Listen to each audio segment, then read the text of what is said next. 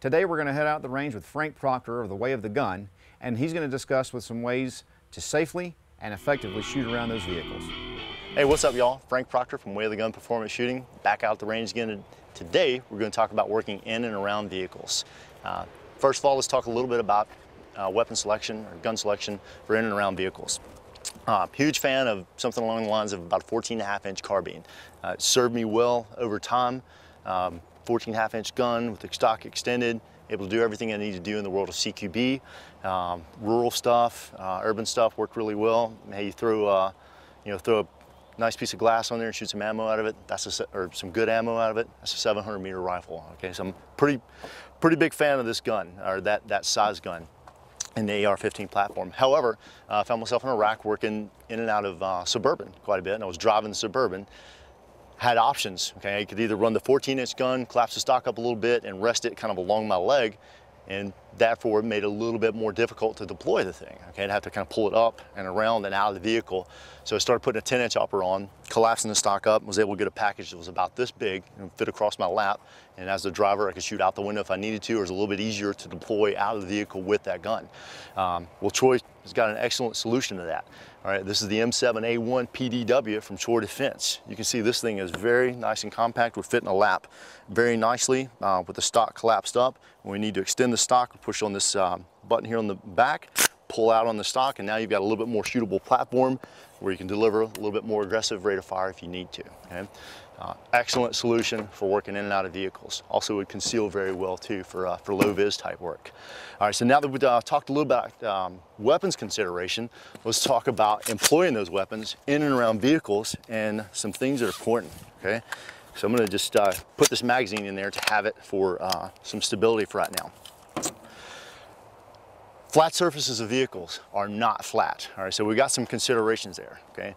Hoods, roofs, trunks, or whatever, uh, usually curved. Okay, so if we go down and rest the forearm of the rifle against whatever it is we're using for support or cover, all right, there's a potential for line of sight and line of bore to be different. So I'm looking down there at a target through the sight, but the bore is absolutely, all right, this bullet's absolutely gonna hit the, uh, the hood of this car or van, whatever have you. Um, kind of like soish. Right, the problem with that is, number one, if this is a, a tactical shooting or defensive shooting situation, that bullet didn't go where you needed it to go. Then where did it go? Maybe it stayed here inside the trunk, maybe it deflected, went somewhere else, um, maybe sent frag back on you or, or, other people around you, okay? So bad plan. So I got a couple golden rules for working around vehicles or, or, the flat surfaces, okay? We either go magazine in contact with what we're using for stability and support um, or cover. That keeps line of sight and line of bore completely safe for us. Um, the other thing we can do is roll the gun to its side, okay? And then we end up with line of sight and line of bore being exactly the same and we don't have any issues, okay?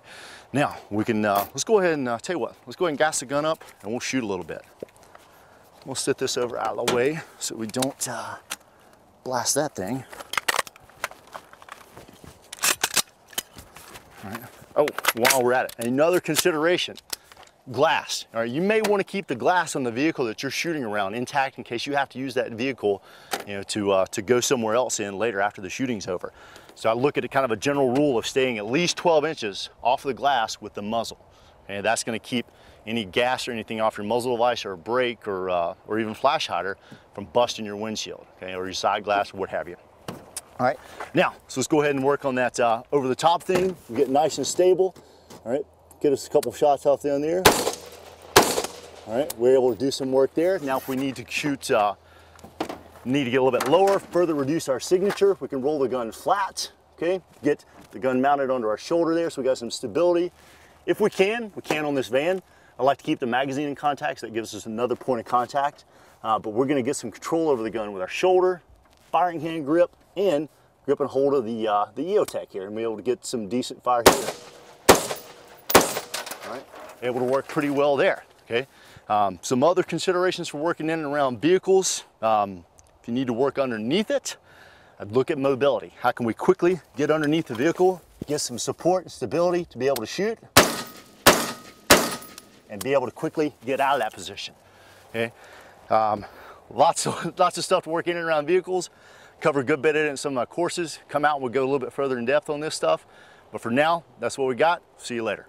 Trigger Time TV is brought to you by Crossbreed Holsters, Keltec, Troy Industries, Troy Defense, Talon Ordnance, Eagle Shield, Nemo Arms, Faxon Firearms, Copus Mobile, Black Forge Weapons, Battle Rifle Company, Vertex, Wiley X, Dark Angel, and Meredith Rifles.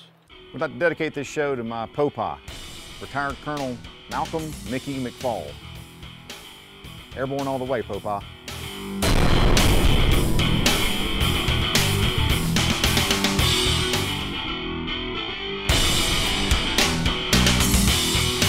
Closed caption provided by Wiley X.